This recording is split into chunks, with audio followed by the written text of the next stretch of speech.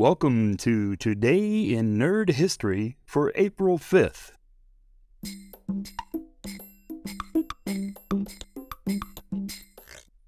Happy Future First Contact Day. In Star Trek fandom, it's the holiday celebrated by good people of the galaxy in tribute to the first flight of the Phoenix and the pivotal first interaction between humans and Vulcans. The event took place, or will take place, depending on how you look at it, on April 5th, 2063. That evening, a Vulcan survey ship landed in Bozeman, Montana, after tracking the warp signature of the Phoenix, a spacecraft that represented mankind's first successful attempt at achieving warp drive. And of course, moments later on that same day, a robed Vulcan, flashing the split fingered Vulcan salute, greeted Dr. Zefram Cochrane, creator of the warp drive and pilot of the Phoenix. Thus, first contact was made, setting in motion a chain of events that led to the formation of the United Federation of Planets.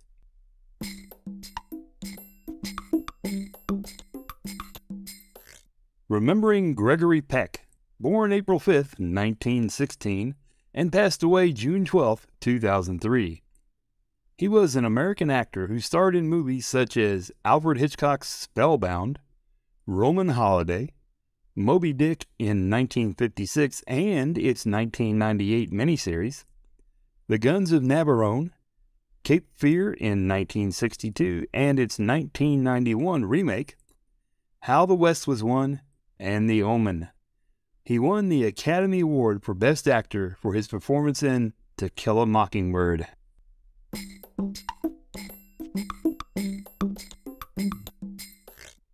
Remembering Bette Davis, born April 5, 1908, and passed away October 6, 1989. She was an American actress with a career spanning more than 50 years and 100 acting credits. Some of her movies include Of Human Bondage, Dangerous, Marked Woman, Jezebel, Dark Victory, The Letter, The Little Foxes, All About Eve, and Whatever Happened to Baby Jane. She was the co founder of the Hollywood Canteen, a club venue for food, dancing, and entertainment for servicemen during World War II and was the first female president of the Academy of Motion Picture Arts and Sciences. She was also the first woman to receive a Lifetime Achievement Award from the American Film Institute.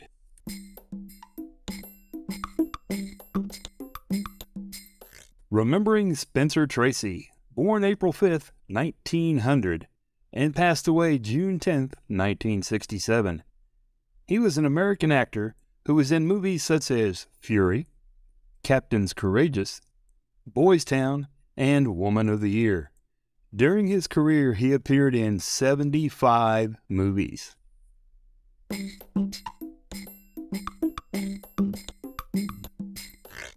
Remembering Frank Gorshin, born April 5, 1933, and passed away May 17, 2005. He was a comedian and actor who played Commissioner Bail in the Star Trek episode Let That Be Your Last Battlefield. He may be best remembered for playing the Riddler in the 1960s Batman TV series.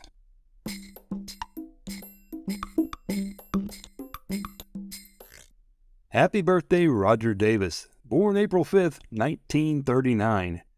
In 1964, he was in the episode of The Twilight Zone called Spur of the Moment, from 1968 to 1970, he played multiple characters on Dark Shadows, including Peter Bradford, Jeff Clark, Ned Stewart, Dirk Wilkins, and Charles Delaware Tate.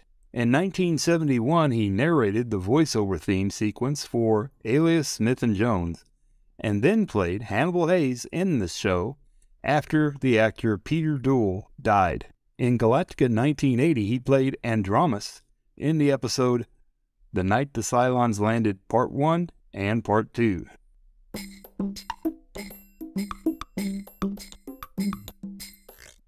Happy birthday, Mitch Pileggi, born April 5th, 1952.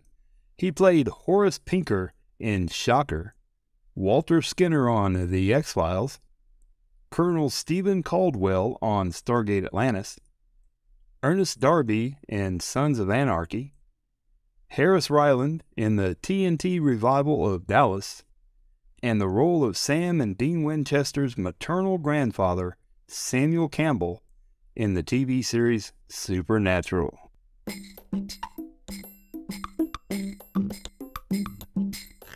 Happy birthday, Hayley Atwell, born April 5th, 1982.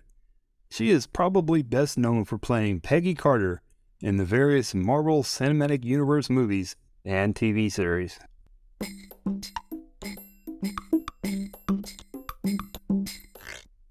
Happy birthday, Tasia Valenza, born April 5th, 1967.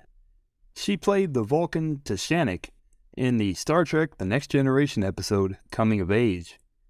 She is perhaps best known for her Emmy nominated role as Dottie Thornton Martin in the daytime soap opera All My Children. She also played Lieutenant Kelly Ann Winslow in Space Above and Beyond. She returned to Star Trek in 2017 with a voiceover role in the first two episodes of Star Trek Discovery as the computer voice for the USS Shenzhou.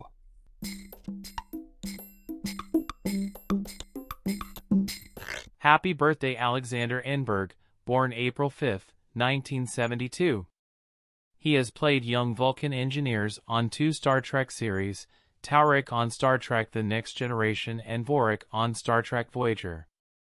He also played the reporter in Time's Arrow and the non-canon crewman Austin Chong in Star Trek, Voyager Elite Force and Star Trek, Elite Force 2. In 2007, Enberg played the role of Jason, the crazy theater director, in the independent feature film Never Say Macbeth. Happy birthday, Michael Rider, born April 5, 1952. He played a transporter chief in four episodes of Star Trek The Next Generation. One as a security guard.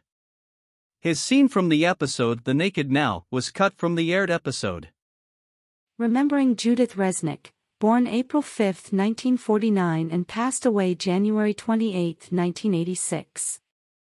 Judith Arlene Resnik was an American electrical engineer, software engineer, biomedical engineer, pilot and NASA astronaut who died when the Space Shuttle Challenger was destroyed during the launch of mission STS-51L. She was the second American woman in space and the fourth woman in space worldwide, logging 145 hours in orbit. She was the first Jewish woman of any nationality in space. The IEEE Judith Resnik Award for Space Engineering is named in her honor. Initially planning to be a concert pianist, she turned down a place at the Juilliard School of Music, choosing instead to study at Carnegie Mellon University after being one of only 16 women in the history of the United States to have attained a perfect score on the SAT exam at the time. She went on to graduate with a degree in electrical engineering from Carnegie Mellon before attaining a PhD in electrical engineering from the University of Maryland. Recognized while still a child for her intellectual brilliance, she went on to work for RCA as an engineer on NASA missile and radar projects, was a senior systems engineer for Xerox Corporation and published research on special purpose integrated circuitry before she was recruited by NASA to the astronaut program as a mission specialist at age 28. While training on the astronaut program, she developed software and operating procedures for NASA missions. She was also a pilot and made research contributions to biomedical engineering as a research fellow of biomedical engineering at the National Institutes of Health. Happy birthday Alexandra Lydon, born April 5, 1979. She played the role of Jhamel in the Star Trek Enterprise episode The Aenar. Remembering John Berg, born April 5, 1949 and passed away December 15, 2007. John Edward Berg was an actor, writer, director, and political activist who played a Romulan senator in Star Trek Nemesis. Although his dialogue scenes were cut from the final film, he still received on screen credit. It was his only feature film credit. Remembering Robert Bloch, born April 5, 1917, and passed away September 23, 1994. Robert Albert Bloch was an American fiction writer, primarily of crime, psychological horror, and fantasy, much of which has been dramatized for radio, movies, and TV. He also wrote a relatively small amount of science fiction. His writing career lasted 60 years, including more than 30 years in television and film. Best known as the writer of Psycho, 1959, the basis for the film of the same name by Alfred Hitchcock, Bloch wrote hundreds of short stories and over 30 novels. He was a protege of H. P. Lovecraft, who was the first to seriously encourage his talent and began his professional writing career immediately after graduation, age 17. However, while Bloch started his career by emulating Lovecraft and his brand of cosmic horror, he later specialized in crime and horror stories dealing with a more psychological approach. He was a contributor to pulp magazines such as Weird Tales in his early career, and was also a prolific screenwriter and a major contributor to science fiction fanzines and fandom in general. He won the Hugo Award for his story, That Hellbound Train, the Bram Stoker Award, and the World Fantasy Award. He served a term as president of the Mystery Writers of America and was a member of that organization and of Science Fiction Writers of America, the Writers Guild of America, the Academy of Motion Picture Arts and Sciences, and the Count Dracula Society. In 2008, the Library of America selected Bloch's essay, The Shambles of Ed Gein, 1962 for inclusion in its two-century retrospective of American true crime. His favorites among his own novels were The Kidnapper, The Star Stalker, Psycho, Night World, and Strange Aeons. His work has been extensively adapted into movies, TV productions, comics, and audiobooks. Well, that's it for today, folks. I appreciate you listening, and uh, if you enjoyed the show, please feel free to tell your friends about uh, little old me here. Have a wonderful day.